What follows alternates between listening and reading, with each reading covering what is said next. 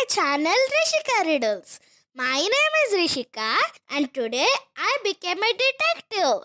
Can you please help me in solving these mysteries? The teacher's diary has gone missing from the school. Three kids, Alex, Lily, and Max, seemed suspicious because a torn page found in Alex's backpack, a mysterious ink stain on Lily's hand, and Max acting unusually secretive. Can you guess who is lying?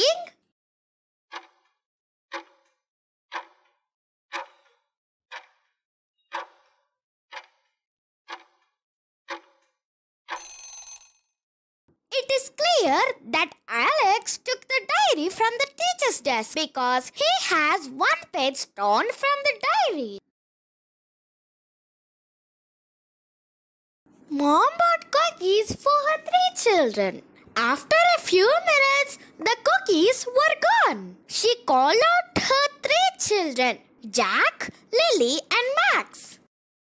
Jack denies being in the kitchen. Lily claims she saw Max sneaking around. Max insists he was in his room the whole time. Can you guess who is lying?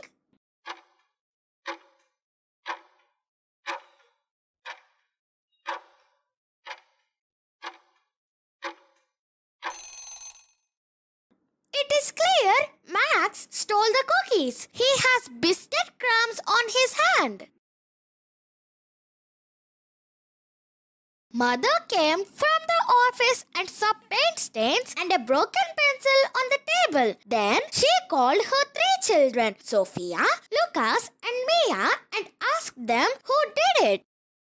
Sophia said, I was playing in the garden. Lucas said, Mia took box. Mia said, No, Lucas did some painting on a paper.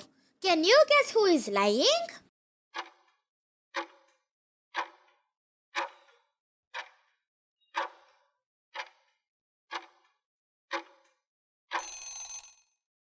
It is clear that Mia was lying. She has paint stains on her hand.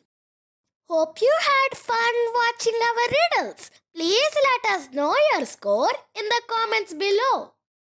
Please like, share, and subscribe.